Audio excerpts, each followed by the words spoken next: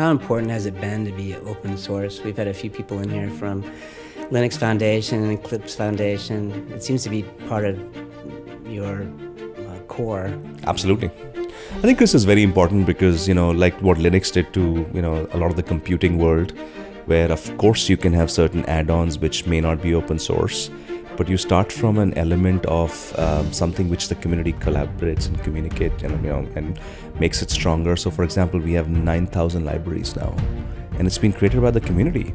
And as soon as uh, somebody is ready to use it in a more industrial environment, we uh, validate it. You know, we kind of have a team which takes that library and validates it. But you know, the beauty of open source is you don't start from scratch. And the other thing is you're not trying to lock people in for monetization. So open source will always be one of the fundamental, you know, pillars of Arduino.